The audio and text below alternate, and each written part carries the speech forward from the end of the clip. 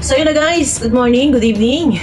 At mega love shoutout po sa inyo lahat. So, marahil ay hindi lingid sa inyong kaalaman na yung pag-stay po ni Reyna doon kay Mami Roda ay napakalaki ng pagbabago. Merong sign na ika nga ay parang gumagaling na. Harinawa, tuloy-tuloy ang pagaling. So yun at ang ating thumbnail. Ito po, ito po ba yung Ed Rain Love Team? Shout out po doon sa ikang nahuhumaling, kinikilig. Pagka ito na si Reyna at saka si Edo na magkasama. Ano po? Shout out po sa inyo. So, ang tanong, nararapat ba na ipagpatuloy yung Edrain na tambalan, yung ika nga ay parang kinikilig yung iba na parang feeling nila ay talagang nagkakagustuhan, nagkakaibigan itong dalawa. So, ayon kay Edo, meron po pahayag si Edo. Ika nga ito ay isang uri lang ng laro-laro. Pag-entertain para lang malibang si Reyna, uh, mapabilis yung pagaling na Reyna. So, ang turing niya ay para nala ang kapatid. So guys, uh, nararapat ba na ipagpatuloy? Itong ganitong ika nga, alam naman natin na si Reyna po ay ika nga ay wala pa sa ayos na pag-iisip. Ano po? So, maaaring maniwala, maaaring kapag dumating yung tamang oras na gumaling, eh baka matuluyan na ma-inlove, magkakras kay Edo. So, ano po ang magiging dulot nito? Gayong, itong si Edo ay ika nga ay uh, kapatid ang turing at sinasabi niya na parang in-entertain. In-entertain lang si Reyna para uh, maging masaya, mapabilis yung paggaling, walang walang nararamdamang paghanga, pag-crush. Ano naman niya? Tsaka, si Reyna ay may sakit. Hindi si Ed, hindi si Edo yung nagtitake advance, advantage na uh, sasamantalahin porque si Reyna ay na, si Reyna ay ika nga ay madaling uh, mauto, maluko, ay laro-laro, hindi naman si Edo, ika nga ay gano'n. Tsaka si Edo po ay may girlfriend. So may gagamitin tayong video clip. Ito po ay likha ni Brother Paas, guys. At nandito po yung pahayag po ni Edo. Ito ba ay nararapat pa ipagpatuloy? Ay si, eh, si Reyna po ay malapit ng gumaling. Ano po? So guys, samahan niyo muna ako para mapanood niyo ano ang ating tinatalakay. Sister Little lang talaga ang turing mo kay Reyna. Yung issue, yung ganyan. Hindi ko pwede nga na yung bata at ano ibang, ta ibang type ba yung trato niya sa akin. Hindi pwede samantalahin. Hindi pwede samantalahin, saka hindi pwedeng ano, kasi pangit. I-take mo yung opportunity mo, ano? Oo, saka pangit na din tingnan. Ang pangit ng ganun tingnan, batang bata eh, 15. Wala man eh. Kasi si Sister Little lang naman ang tingin ko sa kanya. Yung pagpa-vlog is way lang natin para mapasaya yung viewers kasi ang gusto nila eh. Oo. Uh, nandito lang ako para pasayin din yung bata. Ganun na yun, para supportahan. Pero walang bad intention. Huwag na lang nilang isip, isipan ng kung ano-ano. Masyado kasi silang expected na ikaw at si Reyna magkakagustuhan.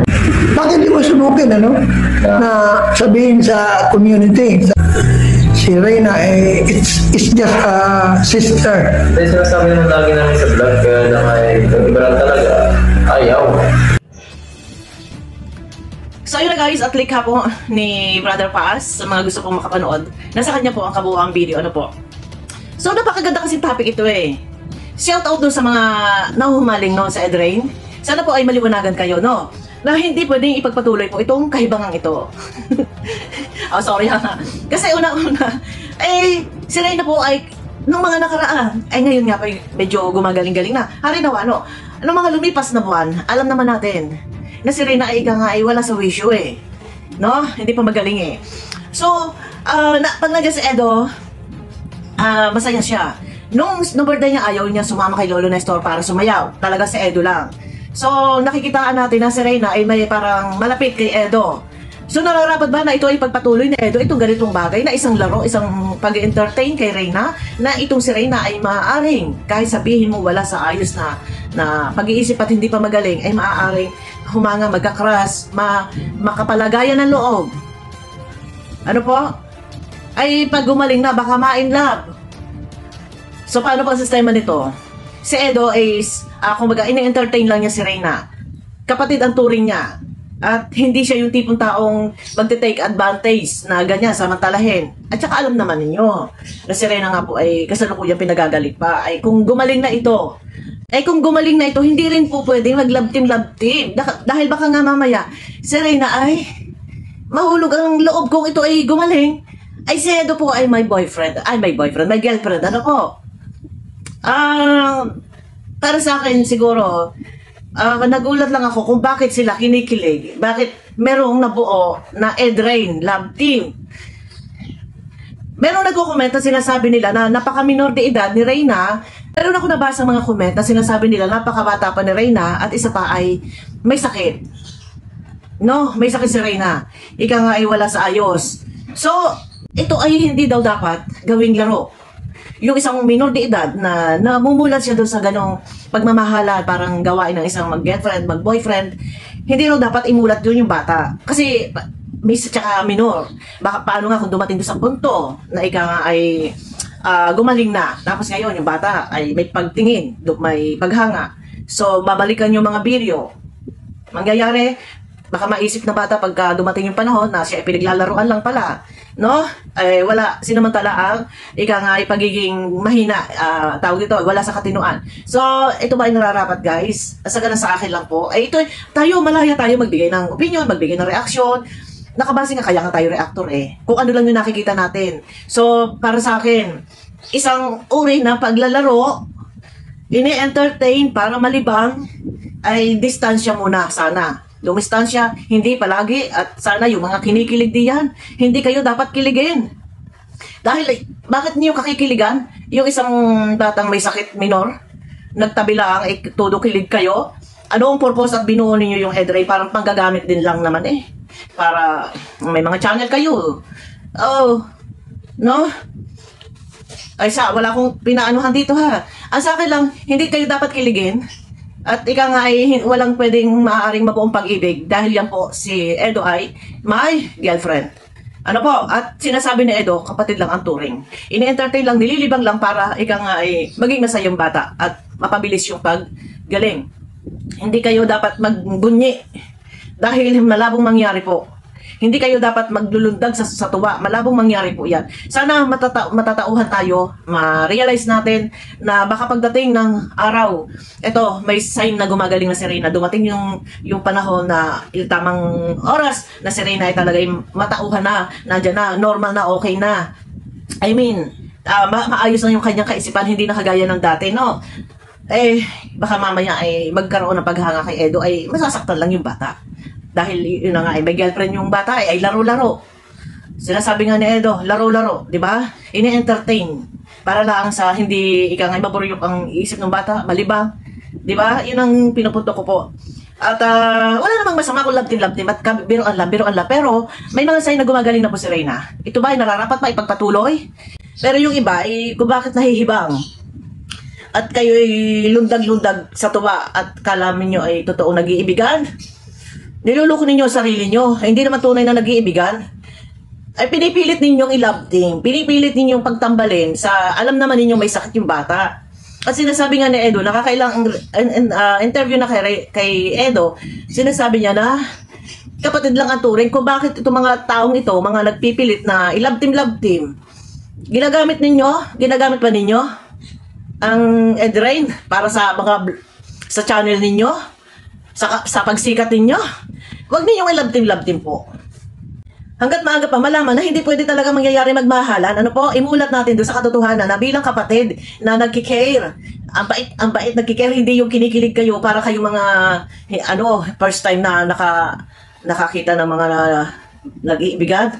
Imulat natin doon sa tama na, na bilang kapatid, yan, maghaplos man, ako, Diyos ko, ang aking kapatid, ah, sana gumaling na. Hindi yung, ginagawa ninyo ng mga ano, ginagawa ninyo ng mga katakatang mga puso-pusong mga edit-edit na ano, nagba, i- kala mo nag-iibigan, magis, gumising kayo, no? Hindi lahat ng tao sumasang-ayon sa mga team na yan dahil unang-una, minor. Ito ay opinion ko, no? Opinion ko po ito. Ito matagal ko nang naiisip ito. Kaya lang, ito na nga, at sumagi na sa isip ko na sa ngayon ay may pagbabago, may sign na si Reyna ay ika nga ay malaki na yung pagbabago dahil sa pag ah, sa pag-agap sa pagpapainom ni Roda ng gamot. Ay paano nga kung tuluyan na ang dumating doon sa puntong ito ay tunay na magaling na? eh, tunay din na naandyan sa Edot, pinipilit nga na ang mangyayari ay maglalab team love team. Uh, eh sinasabi naman ni Edo, ini-entertain lang. No, sa bagay, hindi naman lagi nang si Edo nandyan kay Reyna. May minsan na lang. Pero, yung iba na nahuhumaling, pilit-pilit din yung pinagaano yung picture ni Edo at ni Reyna at ginagamit lang ninyo. Parang ginagamit na lang ninyo din para sa channel yung sikat-sikat eh. Wag na na, wag nang ano, wag nang ilaptim-laptim yan. Intindihin po ninyo yung katatayuan ng bata, may sira. Ha? Hindi maayos. No? Kayo yung maayos ang pag-iisip, kayo yung matino ang pag-iisip yung sarili nyo ilabtim nyo kung kanino man, ano, at yun po ang inyong, ah, inyong pag, anuhin, nako, Mariosep. Sa bagay, mag, maayos naman at makakatulong. Pero sinabi nga ni Edo, yung sa kanya, para laro-laro lang, para mapabilis yung paggaling. At saka, kapatid ang turing eh, ay kung bakit bagay may labtim-labtim na ganyan. Alam naman ninyong minor de edad. Di ba? Minor de edad eh. Tapos ganyan pa nga, hindi nga makadiretso na salita. Eh, aywan ko sa mga ito. Pinaglabdim-labdim ninyo, tigil-tigilan ninyo, tantanan na ninyo yan. At pag yan napanood na Reyna lang, balang araw, ay sasabihin na naman ni Reyna, ay pinaglalaroan lang pala siya ng, ng mga tao. Ano?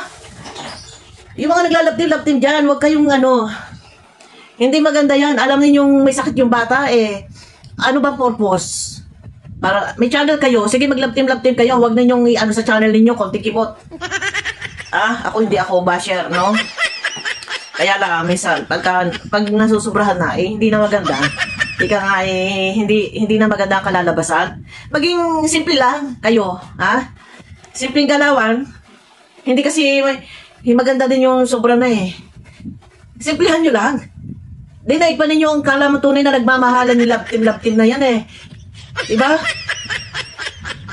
Naku naman, pinipilit din nyo, ilaptip-laptip, alam niyo may sakit yung bata. At pinipilit din sinasabi na Edo, tu- kapatid lang ang turin, hindi ba kayo nakakaintindi doon? Ayan, bakit ako inaawin dito sa pagsisermon na ito? So, so yun na guys, para sa akin, gumala, gumagaling na si Reyna, may pagbabago na. Sana, wag humantong na uh, may love yung bata, magkakross na tuluyan yung bata, at laging hanap-hanapin si Edo. Dahil napapansin, napansin ko nung, nung birthday ni Reyna, halos ayaw sumama na ni, eh, ni Reyna kay Lolo Nestor para sumayaw. Nasa Edo na ako kumuha ay sumama. Sa akin lang, ay nahuhulog yung loob ng bata eh. Hanggang kailan? Sa tingin nyo ba, hanggang kailan? Hanggang kamatayan? Paano?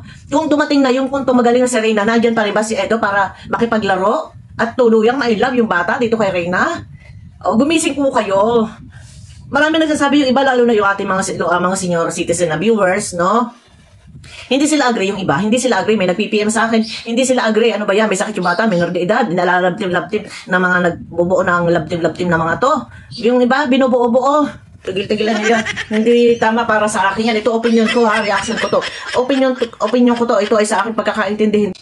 Hindi ako sang-ayon sa mga ginagawa niyong palabtib-labtib na ganyan, no? Dahil nang si Reyna ay ika nga ay nasa stage na nagpaghihilom na.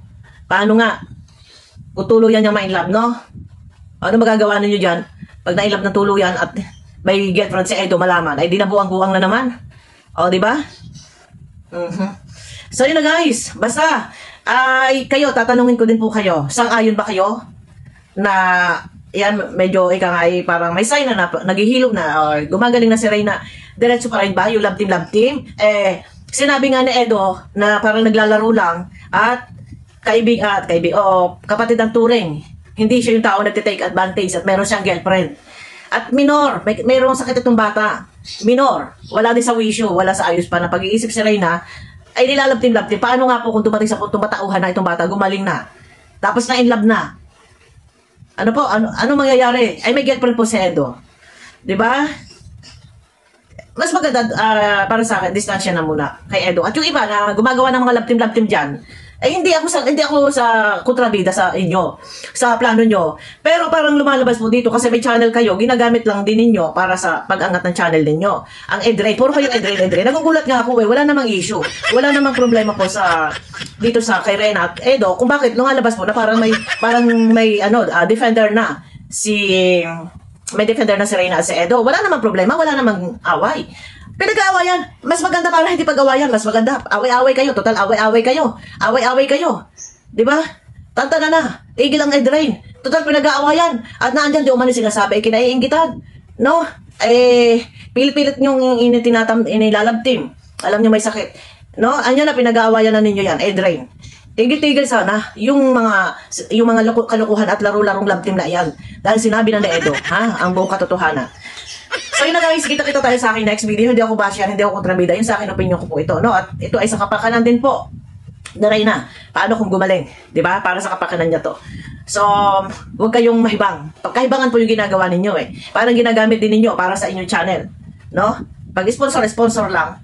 Pero yung sumasama kayo sa pakikipag-away, sa pakikipag-butak-takan diyan, binabumabanat kayo sa mga ano eh, sa mga charity vlogger ng Kalingap eh. Ah, may, wala kayong ano, mali. Sponsor kayo eh. Dapat yung laman ng channel niyo is maganda, hindi yung ganyan. Puro sumasama kayo sa pakikipag-away, walang dapat away-away kasi kalingap, kalingap, no. So yun na, opinion ko to. Ano man na magiging opinion nyo, comment lang po kayo. So guys, hanggang dito na lang. Kita-kita po tayo sa aking next video. Ingat kayo palagi sa mga sulok ng mundo naroroon. Mega love shoutout po sa inyo lahat. Bye!